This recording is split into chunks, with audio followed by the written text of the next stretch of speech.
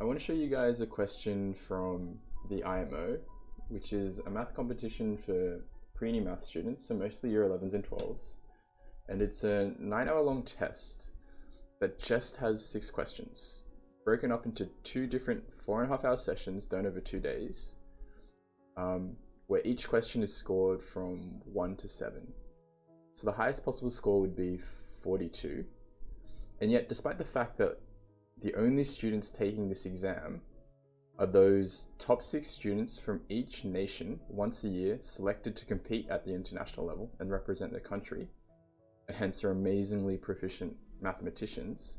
The median score for this exam per question tends to only be around one or two. And overall, historically, the mean score of these top 600 competitors, because on average, recently about 100 nations compete each year. Historically, as a cohort, the mean score out of 42 has only been around 15 or so. So it's a very hard test. And in each of those two sections of three questions, the problems tend to get harder as you go from question one to question three, and likewise question four to question six on the second day. Although, of course, the definition of difficulty is subjective and in the eye of the beholder.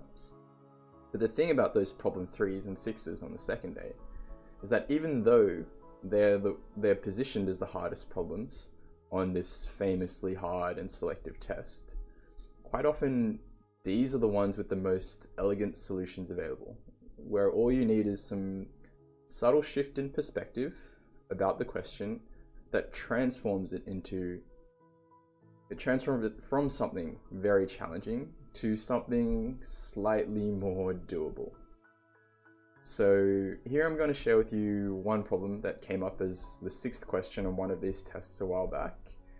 And those of you that follow this channel, um, you know that rather than just straight up diving into the solution and showing you, which in this case for this question actually surprisingly short, in fact you could Google it and I'm showing you the wiki page right here, in fact, and it has a, a given solution. Um, I would like to take the time to walk you through how you might have stumbled across the solution yourself. So perhaps you might have discovered where the insight comes from. So that is, I'd rather make a video more about the problem solving process um, rather than uh, the problem itself and how the problem solving process can be used um, to solve these kinds of difficult question threes and sixes. So anyway, here's the question. It says, let a and b be positive integers such that ab plus 1 divides a squared plus b squared. Show that a squared plus b squared over ab plus 1 is the square of an integer.